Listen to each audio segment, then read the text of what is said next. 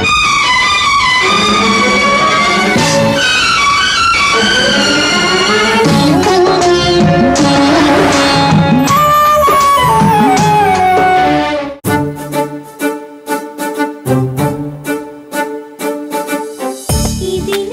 TV ప్రేక్షకులందరికీ నమస్కారం. సంసారం ఒక చదరంగం. కార్యక్రమానికి మీ అందరికీ స్వాగతం. ఈ అమ్మాయి అన్ని దెబ్బలు తింటా. అతనే కావాలనుకోవటం నాకు అర్థం కావట్లేదు మరి మా అమ్మ వాళ్ళ దగ్గరికి నన్ను కదా దగ్గర తింటే నీ బతుకు సెట్ అయ్యేది కదా? ఇప్పుడు తిని తిని తర్వాత వెళ్ళిపోయావు కదా? నన్ను కలపనీయలేదు. హైదరాబాద్ సిటీలోనే ఉంచండి. కాదమ్మా ఏడా తర్వాత వెళ్ళిపోయావుగా? ఎందుకు వెళ్ళిపోయావు? ఏడాది తర్వాత కాస ఆ వారం నెల రెండు నెలలు అవుతుంది మేడం. ఇక ఇవన్నీ గొడవలు అయిపోయినాక ఇట్లా పోలీసుల దగ్గర కూడా అట్లా ఒప్పుకున్నాను కదా. ఊర్లో కూడా పెద్ద మనుషుల దగ్గర ఒప్పుకున్నా. అయిపోయిందని చెప్పేసి నేను ఎలా ఎలా చెప్పమన్నారా అలాగే చెప్పిన అలాగే చెప్పినందుకు ఇంకా అప్పటి నుండి మా అమ్మ వాళ్ళ ఇంటికి పోనీయలేదు మేడం. అమ్మా నువ్వు ప్రతి మాటకి పోనీ లేదు పోనీ లేదు ఇందాక వెళ్ళావు కదా? ఐదు సంవత్సరాల క్రితం వెళ్ళిపోయావు కదా? అది ముందే చేసి ఉండొచ్చు అతనేంటి పో రానిచ్చేది పోనిచ్చేది? నువ్వు అనుకుంటే ఎవరు సహాయం చేయరా? అప్పుడంటే పచ్చి బాలెంత తల్లిని మేడం. కట్టుకునే భర్త లేడు అత్తమ్మ రాలేదు. డబ్బులు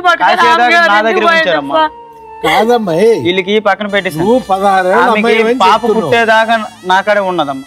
ఆ మాట అడుగమ్మా తప్పు. కాదమ్మా పదహారేళ్ళ అమ్మాయి అంటుంది. పోలీసులు అసలు ఆ పోలీసులకు జ్ఞానం ఉండాలి కదా. మైనర్ అమ్మాయి ఈ అమ్మాయిని నేనే చేసుకున్నా అని చెప్పంటే ఎలా ఒప్పేసుకుంటారు? మైనర్ అమ్మాయిని తీసుకెళ్ళి తల్లిదండ్రులకు అప్పచెప్పాల్సిన బాధ్యత పోలీసులకు ఉంటుంది. వాళ్ళు చేయలా. వీళ్ళ ఊరు వస్తారేమో వాళ్ళ అన్నయ్య ఏమో మా కుటుంబం నాశనం అయిపోతుందమ్మా చెప్పంటే మళ్ళీ అక్కడ అదే చెప్పింది. అంటే ఈ అమ్మాయికి తన్నులు తింటం ఇష్టం. వీళ్ళు ఇంత దూరానికి వచ్చి ఈ అమ్మాయి అంటుంది కదా వాళ్ళ అన్న ఇది చెప్పమన్నాడు వీళ్ళు అక్కడ కూడా అబద్ధాలు చెప్తారు వీళ్ళు ఎక్కడ ఏది చెప్తారు? పోలీసులు కూడా వీళ్ళు మోసం చేస్తారు. అని చెప్పు. ఎలా బయటపడాలో వీళ్ళందరికీ బాధ. అలాంటి విషయాల్లో తెలివిలు బాగానే ఉంటాయి. చెప్పలేదు కదా నువ్వు పదహారేళ్ళు అని పోలీసులకి? అప్పుడు చెప్పలేదు నీ చెప్పు తీసుకుని నువ్వు కొట్టుకున్నావు అమ్మ నీ జీవితాన్ని. అంతే నీ చెప్పు తీసుకుని నువ్వు కొట్టుకున్నావు. నీ అన్ని ఉదాహరణలు అతను చూపిస్తా అంటే నీ జీవితంలో పిచ్చిదానిలాగా అస్సలు అర్థం ఉందా? ఇప్పుడు వచ్చి ఐదేళ్ళ తర్వాత అతను కావాలంటే అతను నువ్వు నా కూతురు అయితే నేను అతని దగ్గర పంపనమ్మా. ఆయన పంపుతాడేమో నాకు తెలియదు కానీ నేను పంపను. నా భర్త నాకు కావాలంటుంది ఈ అమ్మాయి. నీకంటే ముందు అక్కడ గర్భవతి అయింది. అదే లాయర్లు చెప్తారు ఇప్పుడు అది.